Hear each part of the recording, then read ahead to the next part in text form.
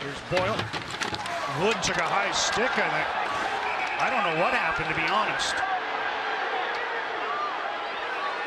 He was in immediate distress.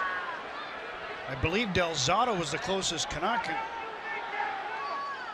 I can't say I saw what happened. And Miles Wood and Del Zotto's right there. He's Almost looks like he asking to see if he's all right. Just underneath the nose. Oh, there you go.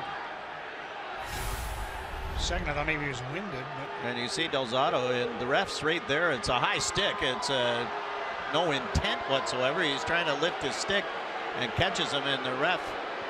well, the linesmen have joined the conversation Yes. now, and somebody may have seen it. The ref might have been too close. And this could be a power play of more than two minutes for the Devils as they congregate at center decide a course of action. Dean Morton and Brian Pochmara, the referees. Ryan Daisy and Michel Cormier, the linesmen.